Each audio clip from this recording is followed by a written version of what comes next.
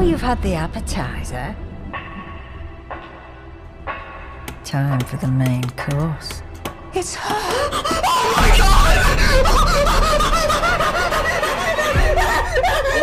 Welcome to the future.